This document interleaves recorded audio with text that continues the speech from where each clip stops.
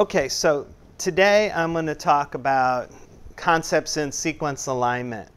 And then next week I'm going to talk about using sequence alignment concepts to search databases of sequences. So they go together pretty smoothly.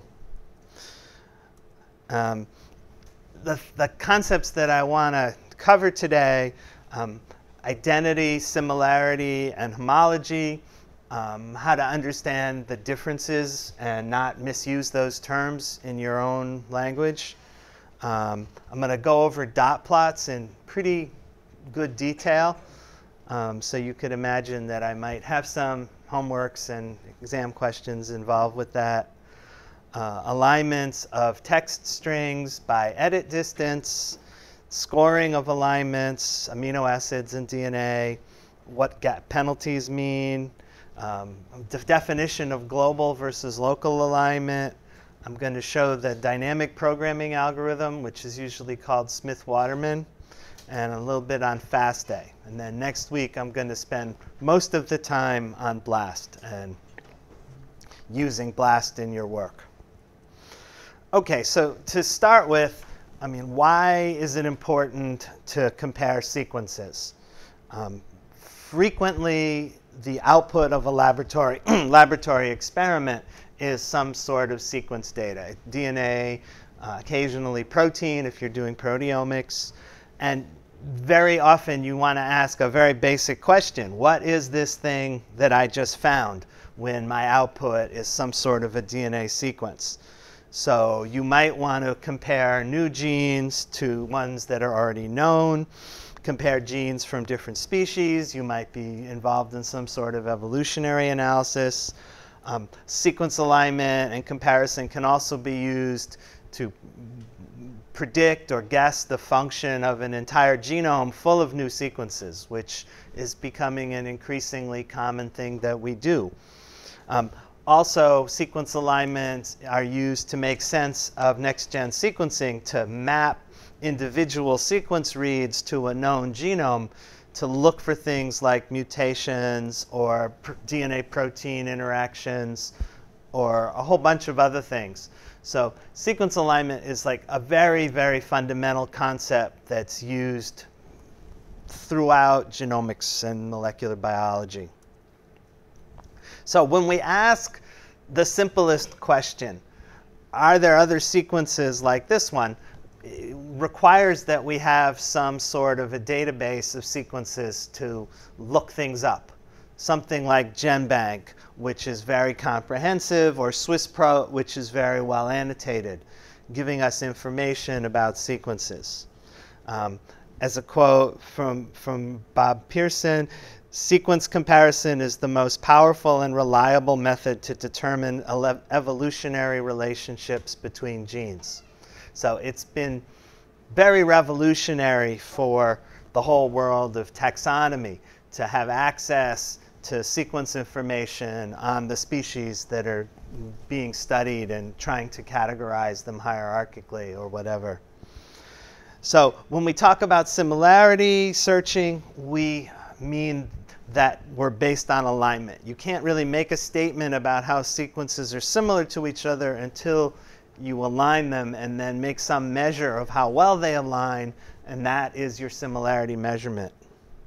Um, BLAST and FASTA are two different sequence alignment tools that provide more rapid similarity searching rather than the more structural methods of sort of sliding the sequences and counting the similarities.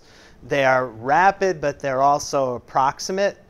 Uh, we use the word heuristic, which is a sort of computational shortcut for an algorithm that finds an approximate solution but does not always find the optimal solution, which means you can get false positive and negative scores. So as we, evaluate, as we dig deeper into how these methods work, you have to keep in mind their strengths and weaknesses and why you might want to use one method over another or how you might need to compensate for the particular weakness of the method that you're using.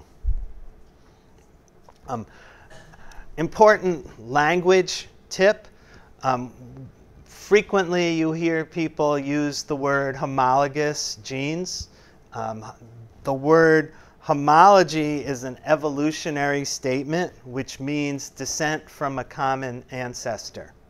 So just because two sequences have similarities in their sequence does not absolutely mean that they are homologous.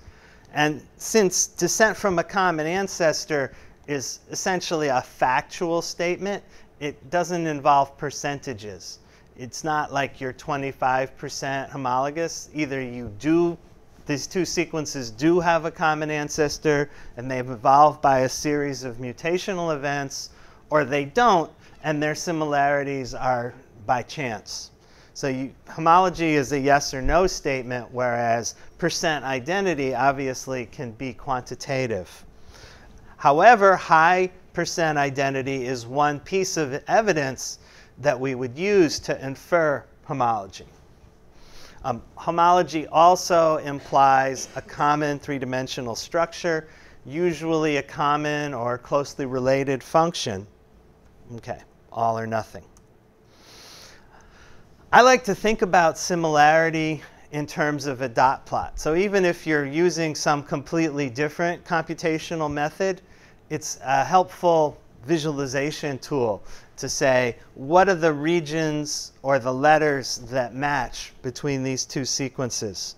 So this is what I mean when I talk about a dot plot. So there's two axes, a vertical and a horizontal. And in this plot, I'm simply putting a dot wherever the, the vertical and horizontal sequence have the same letter, right? G and G, T and T, another T and T, etc. So you put a dot wherever there's a match. A diagonal line, which is not immediately obvious in this plot, um, would indicate a region of high identity, possible homology. Um, frequently, it's helpful to interpret a dot plot by applying a windowing filter to look at a group of bases together rather than just plot each one by one. So uh, in this, well, this plot, I've made a four base window with a 75% identity filter and all the noise has dropped out. And now you see that GATC matches GTTC. So we put a dot here and ATCA matches TTCA. So we put a dot here, etc. But I don't find other four window, uh, four base, 75% identity regions. Now that's a pretty strict filter and these are fake sequences. So you'll always get you know somewhat more noise in a realistic alignment scenario but when you have regions of identity and an appropriately sized filter then you'll see diagonal lines if the diagonal lines are broken like this that means that there's an insertion in one sequence relative to the other and then the uh, homology continues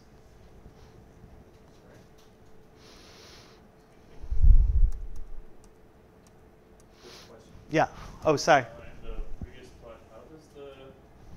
So th this one? No, yeah, this one. How does the, the T match up with the like how do you So I'm just taking a window of three bases, of four bases, and a window of four bases here, and then I'm saying if these four are this are 75% the same, then I'm going to put a G a, a dot under the G. So that dot represents the whole window. That's just a convention for how we do the windows. You have to put the dot somewhere, and it works out better to put it at the first letter of the sliding window rather than, say, in the center. All right, so frequently we use uh, windows that have much lower percent identity, particularly with protein alignments. So 30% uh, identity is actually a relatively high amount of identity uh, between two proteins in a window of size 8 or 10 or thereabouts. 25% is kind of like the cutoff that is often used for finding reasonable amount of identity between two proteins that are inferred or hypothetically homologous. And often you get um, many lines. This would be the case for a sequence that's somewhat repeated. And so there's you could shift the sequence over by a certain amount and those repeats will still show alignments. So when you see these many parallel diagonals, that's a, a sure sign that your sequence contains repeated regions. So in fact, the, the skill of reading dot plots, which isn't so common anymore, used to be a, a major informatics. Uh, well, it used to be something that people who did bioinformatics spent a lot of time at. It was almost like reading x-rays, you know, that you could infer a whole lot of information from the pattern of dots and diagonals. And you might go in and add, try a few different window stringencies to enhance a particular feature that you wanted to emphasize when you paste that figure into your publication. You don't see dot plots so much anymore, but the concept still underlies alignment tools that we do use. All right, so here's a case where we're matching, oops, hemoglobin with myoglobin, and there's really strong uh, single diagonal window 8, stringency 10, so that's more than 50% homology or identity, more than 50% identity. This is a really much lower amount of similarity.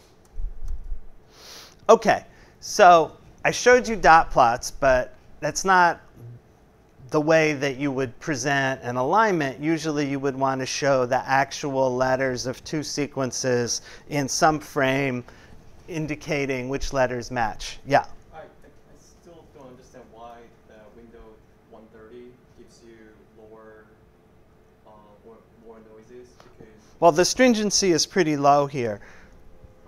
It's the same two sequences. I've just um, made the window smaller and the stringency higher to filter out the noise. Bigger windows, you could, by chance, find some group of bases that, that match. that means you're gonna have more chances to get hits, right? Yes. So if you're looking for very distant homologies, you might use a bigger window and a lower stringency. As you're working with sequences that are more similar to each other, a smaller window and a higher stringency will give you a cleaner uh, looking alignment. But the, uh, the, there's only one point difference between the, the previous one and the next one. Um, but you see the huge difference. I assume that's because of the window size, but Mhm. um, in my understanding, if you increase the window size, you'll see less, no, actually More, more. noise. Okay? So it's just a you know, example. These are the same plot with two different window sizes, basically. Okay, so I'm going to talk now about working with, yeah. Stringency relate to percent identity? Stringency is the percent of the number of letters in the window that match. So nine would be, Very, very low. oh. Yeah, Oh, okay. I didn't realize it was nine. yeah. Okay, so now we're going to talk about strings for a little while. Um, if you think about just having two sequences in uh, of text and you have them showing up on your screen, you could align them by just using your space bar, right? Start with overlapping no bases and then the slide the lower one along, overlap one, two, three, four, and then out the other side. And for every one of those frames of alignment, you could count the number of letters that match. Obviously, when they're overlapping each other more, you have more chances for matching. When you have a lot of gaps, there's fewer. Um, in addition, you can use the space bar to insert gaps inside of either the sequence on the bottom or the sequence on the top to force an alignment. If you think about it for a while, since DNA has only a four letter alphabet, if you didn't have any cost for inserting the gaps, you could force two sequences into a, frame of alignment that was pretty good just by freely sprinkling gaps all over the place. So when we come up with a way of scoring those alignments, we're going to have to put add some sort of a penalty for inserting gaps inside of the sequence. So in this case, we could just use as a measure of identity the percent sequence identity. How many of the letters compared to the total length of the sequences are matching. In this case, we have a couple of mismatches and the rest of the letters match. We also have a couple of uh, gaps inserted in the sequence. So in this case, we're counting a gap as the same as a one mismatch because we're having an A aligned to a gap. So these two sequences come out as 70% identical. Um, there's a definition for this, or, or at least this type of measurement, percent identity, is called a Hamming distance, which is the minimum number of base changes that will convert one ungapped sequence into the other. So this is um, mismatches with no gaps allowed. And then for every mismatch, uh, changing one of the bases would convert that sequence into the other one. And it doesn't matter which sequence you, you switch, obviously. It's just a, a single number of changes that convert one sequence to the other. And I made a, well, I found a Python function for Hamming distance. This is not something I'm going to give you to work, but if you like that sort of thing, there it is. Hamming distance is named after Richard Hamming, who introduced it in his fundamental paper on Hamming codes. Um, we end up using this, yes? Well, in Hamming distance, there's no gaps allowed. In the next slide, we'll get to adding gaps. Um, but we do use Hamming distance in making DNA barcodes, which is something that's still actually used quite a lot. For example, when you're labeling sequences, uh, when you're going to batch them together for sequencing, you, you add an 8 or a 12 base barcode. And the idea is that if you miscall one of those bases in sequencing, then that's a Hamming distance of 1, right? Instead of getting an A, you get a different letter at that position. And so what we try and do is design a group of barcodes so that no single change of letter will convert one, one barcode to another. It requires a minimum Hamming distance of two. So these older concepts, in this case from 1950, although this wasn't designed for biology, this Hamming distances were, were designed for like Morse code type bits that would travel over the internet or whatever they had in 1950. but the same concept applies to DNA codes as it does to Morse codes. A single letter change. So the Hamming distance can be unrealistic because if you have a gap, it shifts everything off, and now you know none of the letters match. So Levenshtein introduced something called edit distance, which adds the concept of a gap as a distance of one in the same way that having a base change uh, is a distance. Um, Illumina sequencing doesn't really insert much in the way of gaps, but there's other methods that do, in which case you could in fact get an indel inside the barcode. So that's not something that we use right now, but the same thing applies.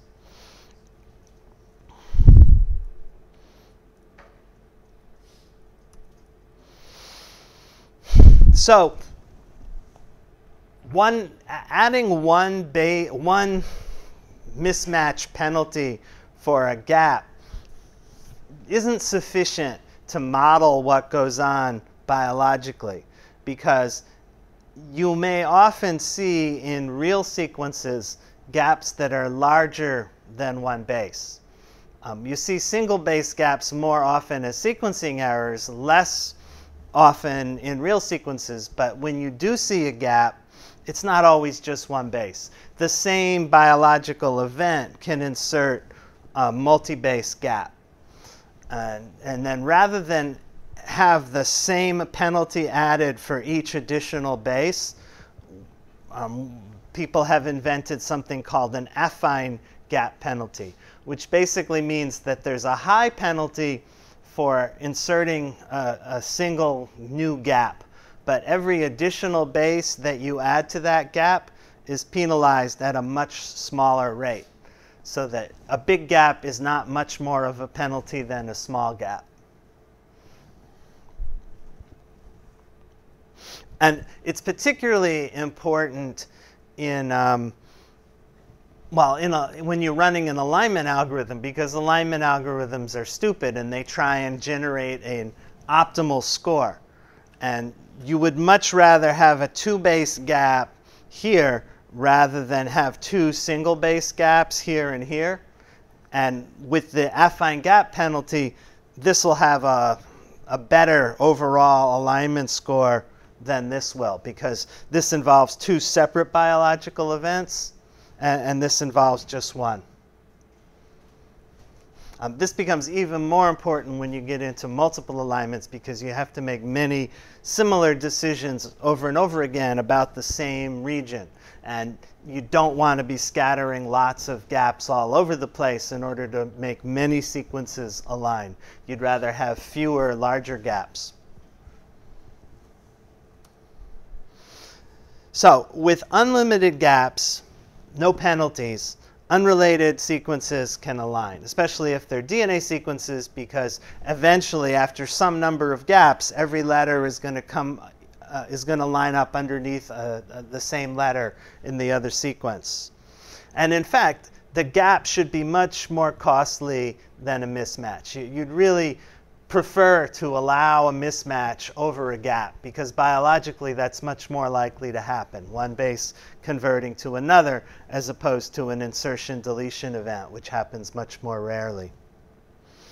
Um, a multi-base gap should cost only a little bit more, and it, you should have an additional penalty for adding a second gap near a first gap, that should be strongly disfavored by your algorithm, if at all possible, because again, that biologically that's less likely to happen. Two separate insertion deletion events separated by only a few bases. You should mush them together and allow for a mismatch and two next to each other gaps is preferred over gap, base, base, base, gap. All right, so this is the little formula for the Hamming distance. So P is the gap open penalty, and sigma is the gap extend penalty, and then X is the number of additional spaces of gap that you're inserting. The, the reason I'm putting it in a formulaic sort of way is because these are typically parameters that you're allowed to adjust in your alignment tool even BLAST on the NCBI website has a place where you can change the gap penalty. And this is what you're doing. And, and again, there's generally two different gap penalties that you can adjust. The gap open penalty and the gap extend penalty. And this is how they fit into the formula. Okay, another important concept is global versus local alignments. So a global similarity or a global alignment uses the complete sequences and it computes the total percent of matches. Um, in, this is usually known as the Needleman-Wunsch algorithm. They, they wrote this as a piece of software, eh, I guess in the 60s. Alternately, a local similarity looks for the best internally matching region between two sequences, and it ignores tails of one sequence or the other or both that don't match. You simply score the best internal matching region. Um, and, it and this is essentially the same as finding a diagonal region on the dot plot and not worrying if the diagonal falls somewhere in the middle of the graph and you have portions of the plot that don't align. You simply score the diagonal. And the two sequences that have the best diagonal, those are the ones that have the best alignment score. So the Smith-Waterman algorithm is sort of an improvement on the Needleman-Wunsch that focuses on local alignment. Um, both BLAST and FASTA are heuristic tools that use local alignments. Um, I'm going to show you a dynamic programming algorithm, which is essentially the basis of Smith-Waterman for how this is calculated. But just conceptually or in a cartoon form, a global alignment means that you have to align the two full sequences from the very beginning of one, uh, starts at the very beginning of the other, and then you, you count aligned bases, gaps, mismatches, etc. You're allowed to slide them along each other, but the unmatched regions are, are penalized. Whereas a local alignment asks the question, is there an internal region of the first sequence that matches an internal region of the second sequence? And you try and maximize that internal region, but once you've reached the end and adding more bases doesn't improve the alignment, you can stop and say this is the optimal local alignment for these two sequences. And the tail ends, the unmatched regions, are not penalized. This is obviously important if your two sequences are of different lengths. The longer one is always going to have a tail that's not matching the shorter one. But also it's more realistic in a biological context where you know, gene regions are going to match each other and flanking regions are not, or two proteins might share uh, a highly conserved region but have 3' prime and 5' prime regions that are more diverged. And so most biological alignments are done using a local alignment method. And in fact, BLAST means basic local alignment method or basic, basic local alignment search tool.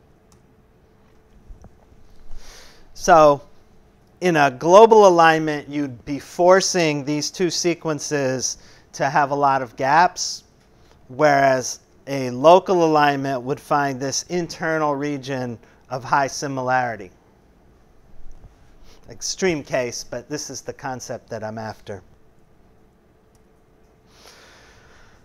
So the Smith-Waterman method, which is dynamic programming, uh, is essentially a system, a way of systemizing scoring of a dot plot. It's a way of finding those diagonals and, and scoring them, but it, it uses uh, alignment path matrix, a way of calculating things that will always find the best solution. Um, it's a stepwise process, similar to a heuristic, but not exactly the same as a heuristic. Or not, I mean, not exactly the same. Never mind. It's a heuristic. It's, it's not a heuristic. It's an optimal method. Um, and it uses a backtracking. So after all the alignment scores have been calculated, then it comes back and finds the optimal one. So what we're going to do is we're going to fill in this big box with scores for every position. And those scores are going to be cumulative. So we're going to start in the corner, and then each new box is going to inherit a score from the, the previous set of boxes. So you build the optimal alignment using previous solutions of smaller subsequences. So you start by aligning the first two bases, and then you, you, you come into the second one in one sequence and the second one in the other. Always asking, is it better to allow for a mismatch or a gap in one or a gap in the other? So the F is the score which is indexed by i and j. So i would be moving across the first sequence horizontally, and j is moving across the second sequence vertically. So f of ij is the score of the best alignment that's possible at a given position. So frequently you can arrive at a given position through a few different paths. You could gap one sequence or the other one, allow a mismatch. And f of ij is always the optimal. So you actually have to make decisions for every box that you fill in. And it is sort a recursive algorithm. Okay, so when we score a 1 here, that's aligning this A with a gap. So this, this matrix is, is going to use a very simple scoring system where um, mismatches and gaps both get a score of 1. And what we're trying to do is minimize the number of these penalty scores that we accumulate as we move through the matrix. So no scores here because we're not aligning anything, but A is now aligned with a gap in the other sequence here. And if we just gap all the way down, meaning we slide one sequence all the way past the other, then we get a maximum score of 8, which is 8 gaps or 8 mismatches either way. So obviously we can do better than that. And similarly, if we slide along this way, adding a gap at every position, then we're going to get a maximal score of 8. But because this A matches this A, there's no penalty for moving diagonally and putting a 0 here. So that 0 is similar to putting a dot in the dot plot. Oops. So if we know the score diagonally to the left, above, and directly to the left, we can choose which one of those to use when we calculate the score in the, in the next box. So there's, there's three possibilities for each box that we move diagonally and uh, allow an alignment score between two letters. In other words, they're either the same or not the same, and so we're going to add a 0 or a 1 there. Or we move down and gap vertically, and that would obviously get a mismatch score of 1. Or we move horizontally and we, add a mis we get a mismatch score of 1. In each case, that score is added to the score of the box that's to the left or above or diagonal.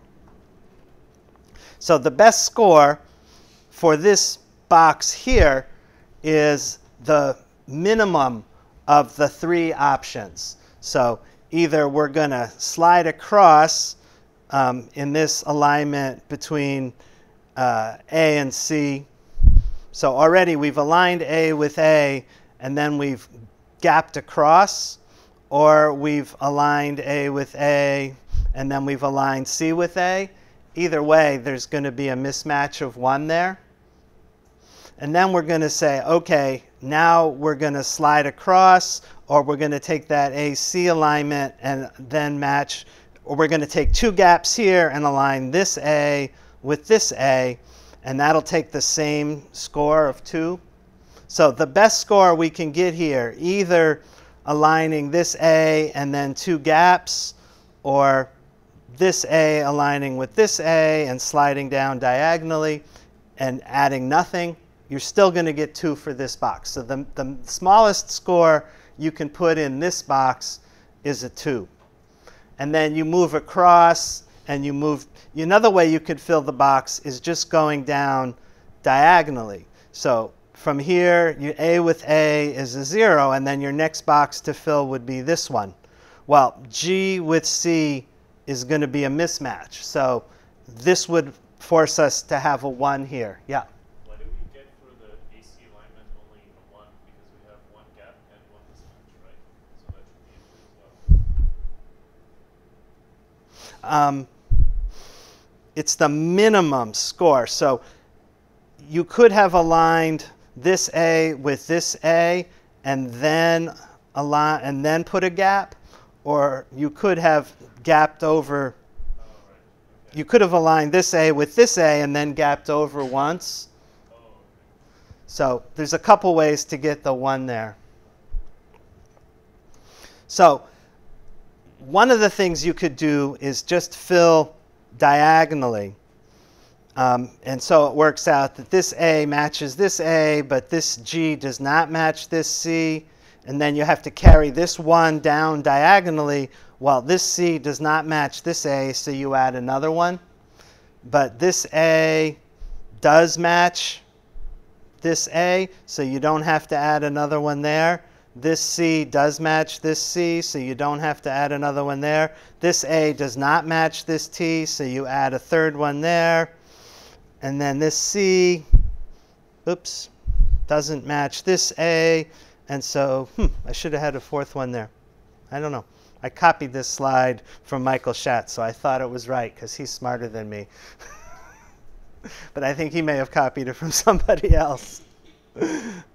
but the idea is this, this the same. So when you go across, you add one.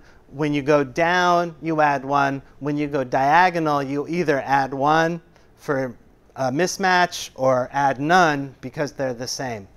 In fact, you could do the whole thing the other way around and add, add one for positive matches and subtract one for mismatches and gaps. And then you'd be trying to maximize the score rather than minimize the score. It ends up being exactly the same.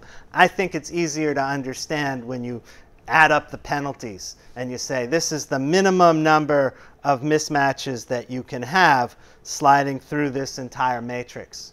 Once you've calculated the score for every box, then you can go back and sort of retrace the minimum path and say, okay, you know, my minimum path goes up this diagonal, and then there's either a mismatch or a gap here. And that's, it, it, turns out in this matrix, there's a number of different paths that are equivalent to each other. There's a bunch of ways to get down here to 2 and a bunch of places where you could go either inserting a gap or here or there.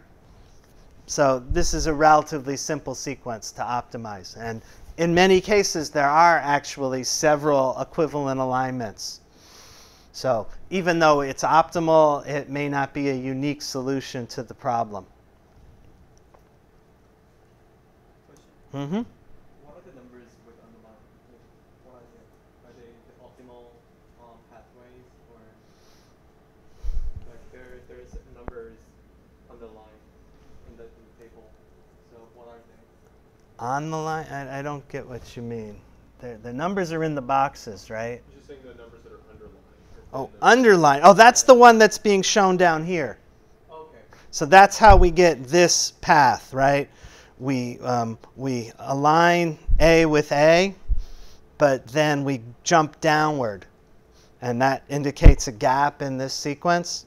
So this is one of the optimal alignments that brings you, um, it, it's aesthetically pleasing because it brings you all the way to the end rather than having an overhang, which these other two alignments have. So it's the one he's chosen to illustrate.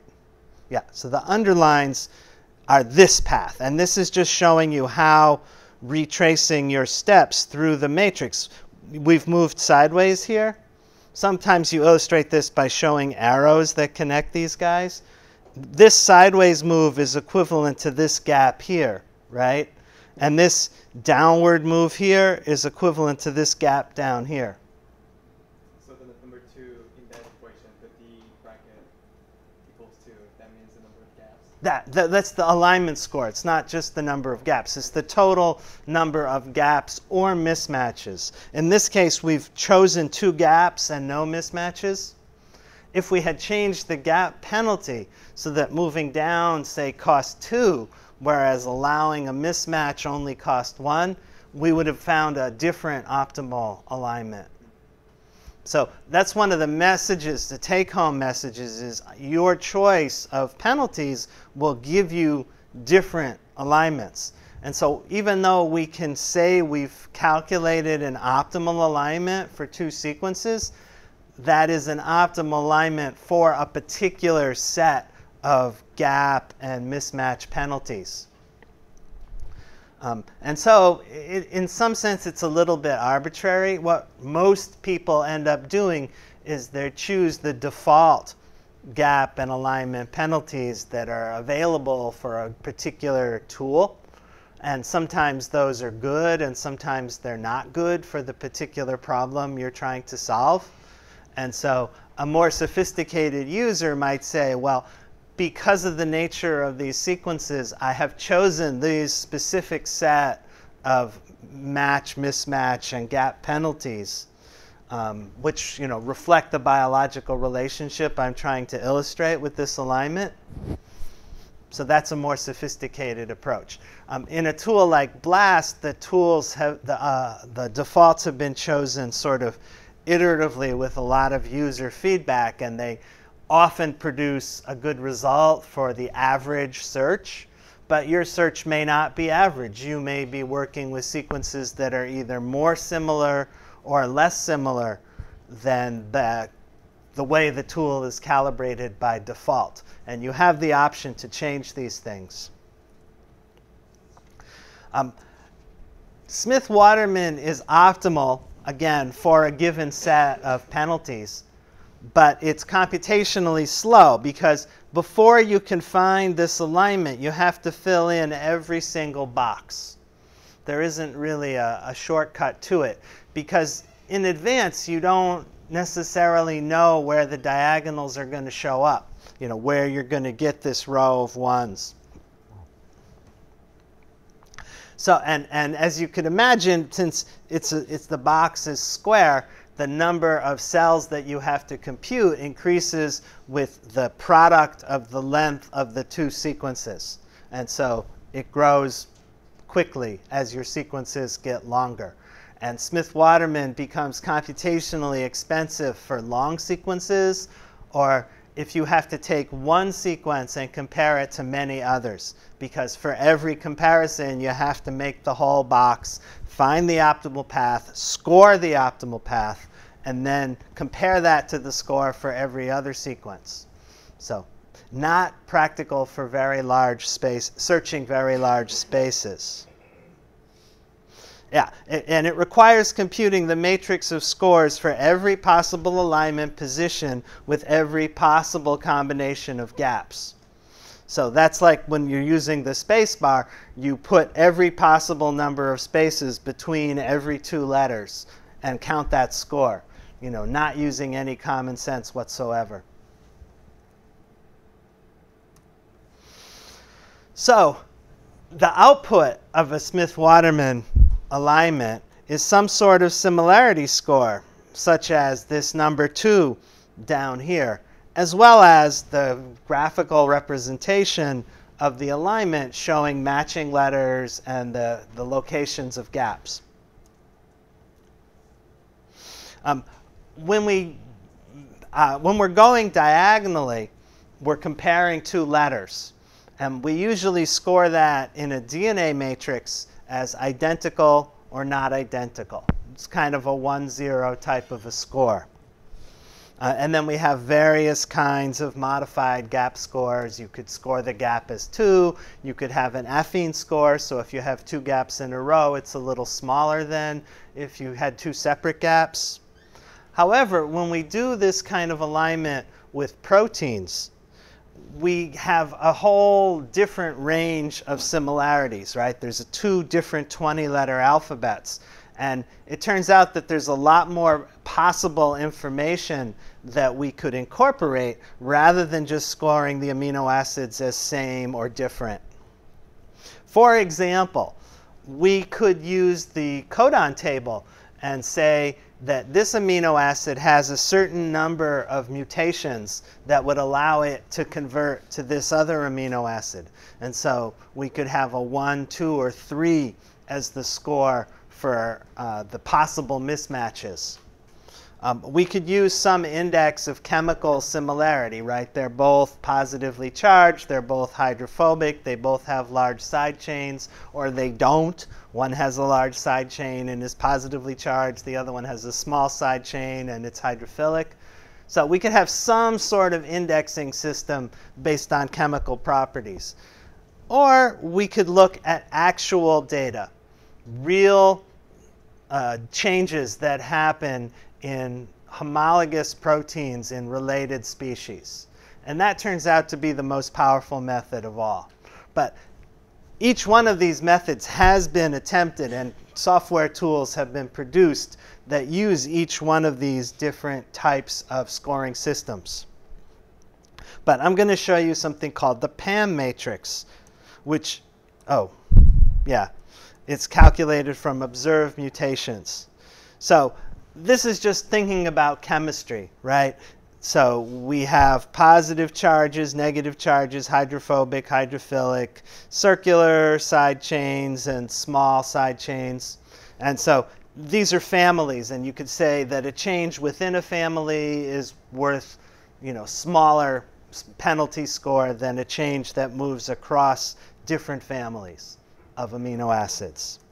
And somebody's written up this little thing to show the nature of those relationships. It turns out to be kind of a pain to encode this as a matrix of scores, but people have done it.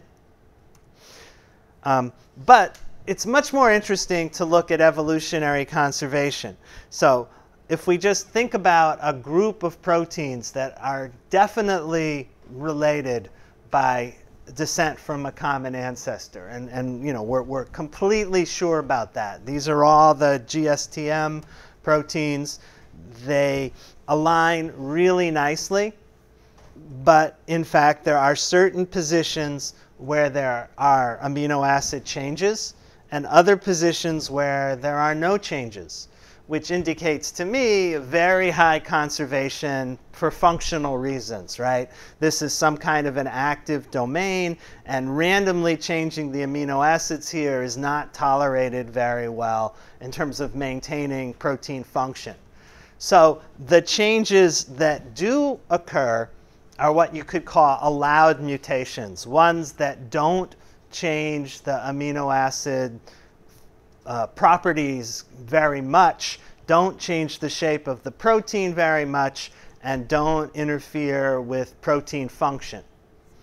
And so you could just make a substitution matrix for how often in these aligned regions a given amino acid is substituted one for another.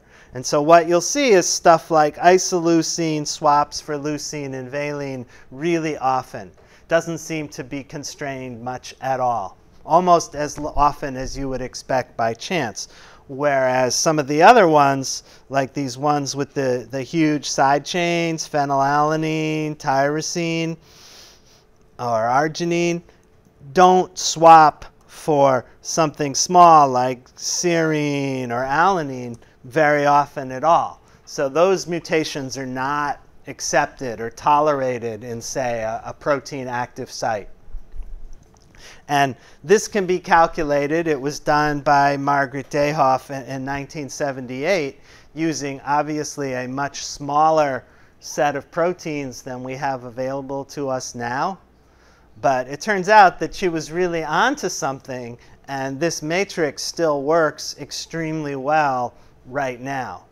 Uh, It's called the PAM matrix, which is percent accepted mutations.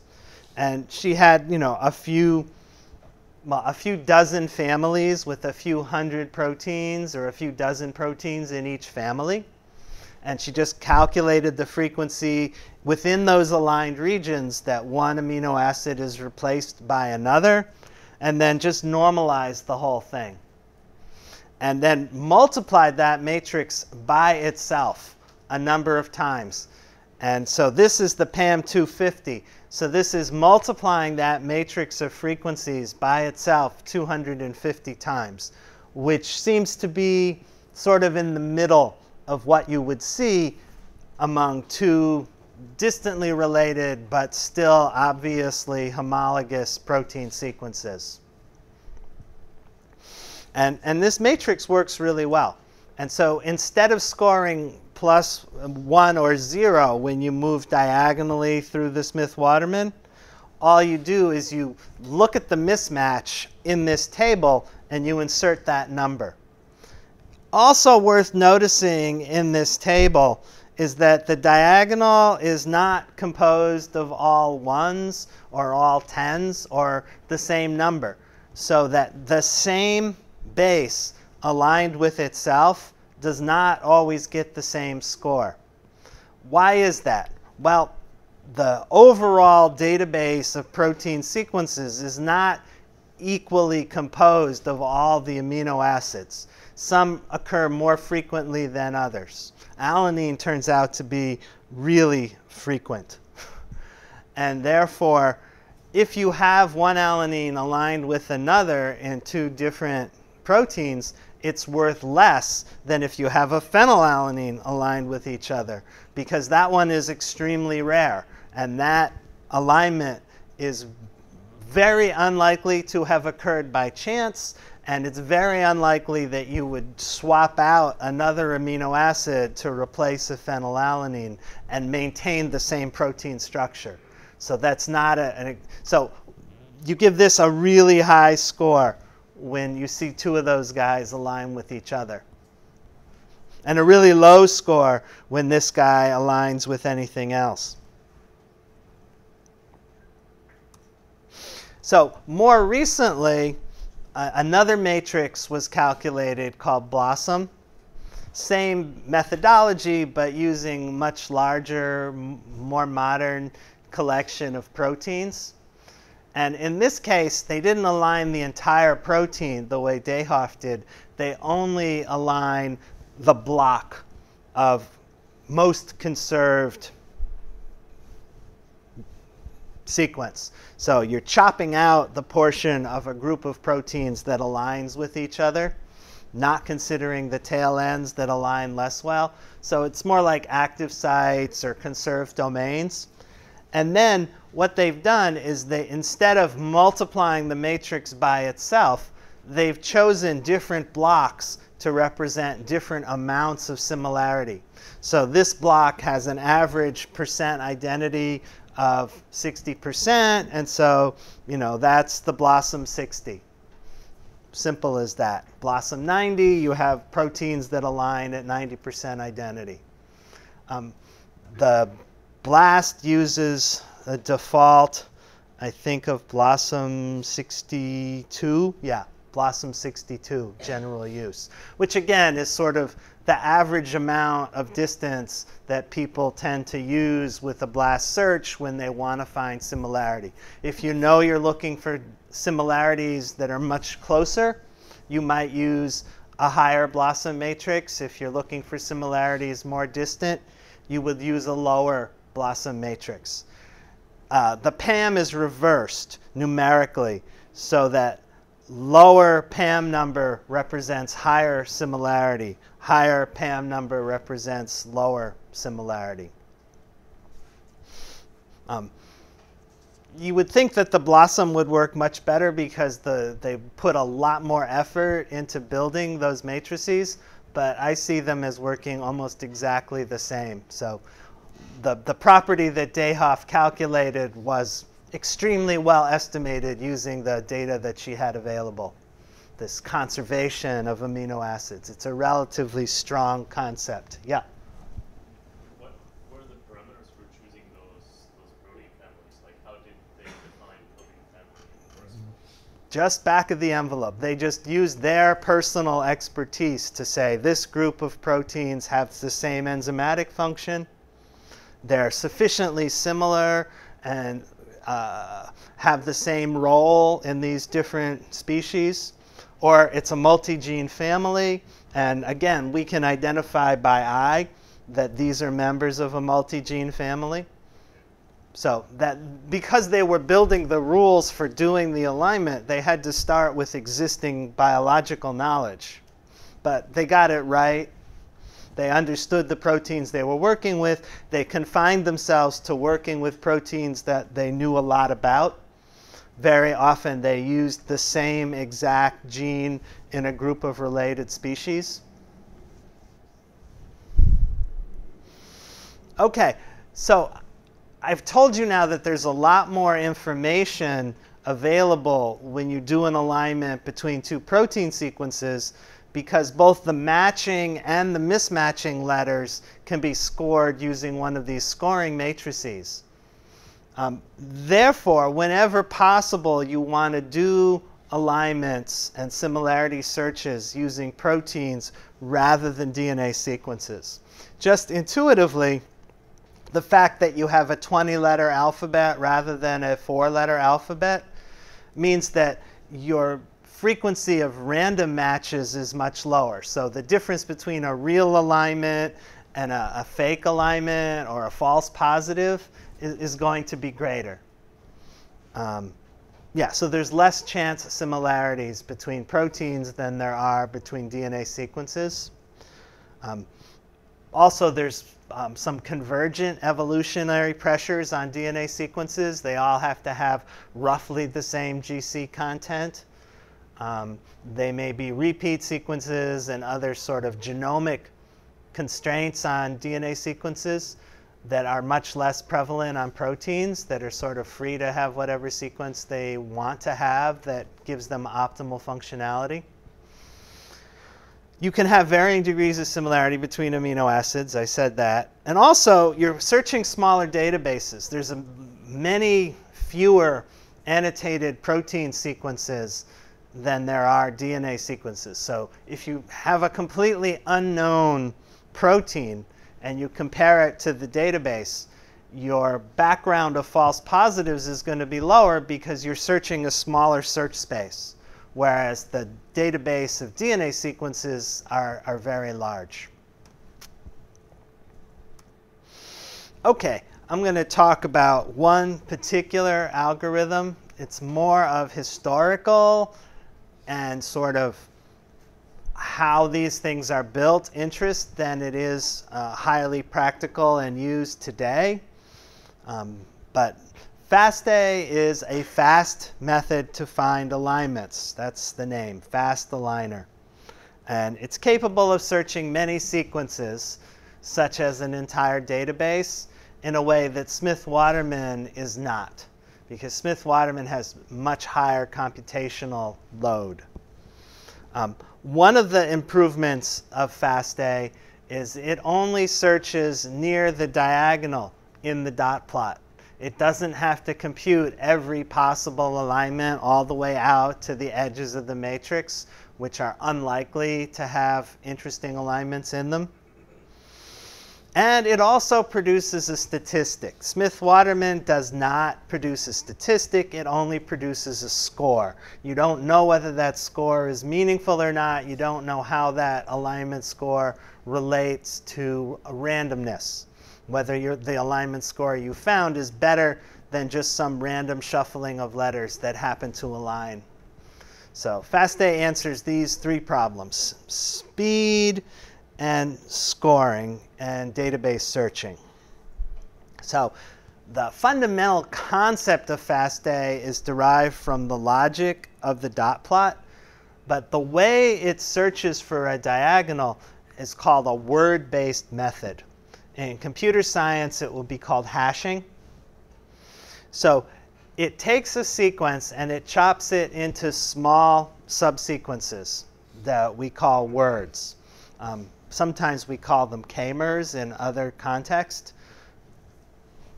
Um, and then it compares the words in your query sequence against the words in a target sequence. And you can think of this as just one-on-one. -on -one. So you have, instead of a dot plot of all of the letters, you're now looking at a window, which is a word, and you're looking for exact matches of several letters between your query sequence and your target sequence. So you could think of that as putting a dot on the dot plot where three or four or five letters match exactly between the two sequences. It only matches identical words. So this is kind of a weakness of the algorithm, but it turns out that computationally it speeds things up a great deal to only look for perfect matches between two tables of words because that's what a hash algorithm does. It says, is this word present in this other column of words? Um, when you do DNA, usually you set the word size to 6. This is an adjustable parameter, but most people would leave this at the default because all the other parameters are tuned to this one. Um, protein words can be one or two amino acids, so very small compared to a DNA word. Um, and again, it only runs the full algorithm in the location where words match, which you could think of as a small diagonal on the dot plot. In addition, and I've mentioned this before, in the process of creating this software, uh, Pearson also defined the FASTA format. I've shown this before, but you know, there's a header line and then there's the sequence. So I'm showing another dot plot. In this case, you could imagine that the word size is 6 and the percent identity is 100%. So we're only putting a dot where a six letter word matches exactly between sequence A and sequence B. And immediately you can see that there are some pretty promising looking diagonals and also a little bit of noise. Um, if you are working with amino acids rather than with, with DNA sequences, you have the benefit that you could rescore those alignments rather than as identical. Now you can use the PAM matrix and uh, get higher scores for those alignments that have highly conserved PAM scores. Keeping the top segments and throwing away at this point those diagonals which are below some threshold score. After all the good diagonals are found, then it tries to add gaps. So initially, the diagonals are, are drawn only using identical words, which means no gaps. But then it tries to it join them up by adding some gaps. And then it computes an alignment using the Smith-Waterman method, but only between the dotted lines only that portion of the whole matrix that includes this joined diagonal line. So, and in fact, if you don't have a joined diagonal line that meets some minimum threshold, you don't even bother with the Smith-Waterman. You just move on to the next sequence. Or if you have two sequences, then you would compute it anyway and you generate a poor score statistically not very significant. The output is usually displayed like this, where you have a, uh, a z-score, which is basically just something that's computed the number of matches minus the gap penalty. Then you have a, a percent identity, total number of bases that are in the aligned region. Again, you're not necessarily aligning the whole sequence. It's a local alignment. And so um, ends that don't align are not going to be shown in this, in this diagram. And then you also have a score, which is a statistical value, an E value. And I'm going to talk a little bit about how that's computed. Oh, shoot. I guess I'm going to talk about it later. I ran out. I, I cut this lecture shorter than I wanted. You know what? I want to get into that, so I'm going to grab the slides from next time and talk just about the e-value score. Hopefully, if I have it here.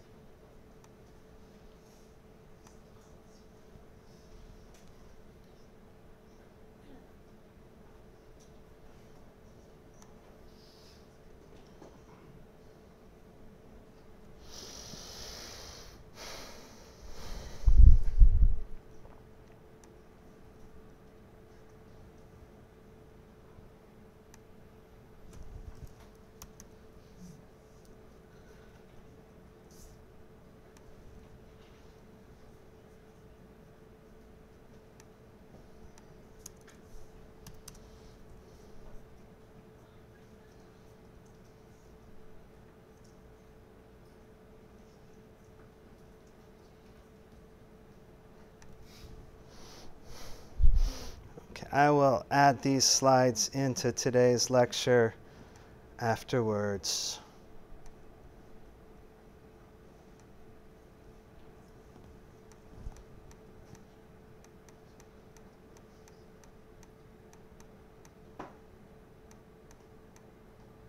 Okay, so this is work that was done by Pearson as well that the score, the raw score for the number of matching alignments is not normally distributed. In fact, it, um, there's a very large number of low scores and a small number of very high scores, which is modeled by this thing that they call the extreme value distribution. And so the statistics are based on uh, a mathematical model of the extreme value distribution. And he did, using FASTA, he uh, computed a bunch of scores for a bunch of different proteins and, and showed that they fell very, very closely on this model of the extreme value distribution. So this is a good model for how the scores occur if you just report the raw score the number of alignments, my, number of matches minus mismatches minus gap penalty, something like that. Um, but we can compute an e-value from the extreme value distribution where E is the significance score, M is the length of the query, N is the total size, is the length of the matching database sequence, S is the score, the raw score from the matches and mismatches and gap penalties, and K is based on the size of the database, which is some estimate of, of false positives, right? The larger the database grows, the more likely you are to get a random match, uh, especially if the sequences aren't too big. But in any case, your, your overall score is a function of the size of the database that you're searching. You keep searching a bunch of different sequences, the scores are going to be higher and lower in some random fashion. The more sequences you search, the, the more chance there is to find a high score. And then lambda is a constant that models the extreme value distribution. And so negative lambda times s, e to this power. So this is, this is a, an expression that involves the distribution and the score. And then these are basically constants, right? The length of the two sequences and the size of the database. K is database. Well, not constants, but these are simple variables. Then you're just multiplying by e to the negative lambda s. So what this is telling you is that this e value is the probability that the match you have is better than a match that you find by chance. The smaller that number, the more statistically significant your probability of match is interesting rather than random. So an e-value of 1 means that you are likely to get one match from a database of this size with a random sequence of the size that you just searched. So that's a completely insignificant result. Typically in biology, we use an e-value cutoff of 0.05, which in terms of making database searches is um, depends on what you're looking for. Um, it may well be that since biological sequences are not randomly distributed, that an e-value match of 0.05 could be related to noise or uh, skewed composition of a particular sequence that happens to match some other things in the database that share that composition. Or it might be a real match, and it might be even that if you're searching for very distant similarities, you know, between bacteria and mammals, something like that, that the e-value might be lower and still biologically meaningful. And so it gives you a statistic, but it's not a very hard and fast rule that you can only consider e-values better than this. And in fact, very frequently you want to be more stringent than this. Okay, so that was the e-values. The rest of the lecture on BLAST I'm going to do on uh, Thursday, and I'm going to give a homework that covers this and that on Thursday. Um, the tutors will be ready at 4 upstairs if you have problems with the homework from the last lecture. All right.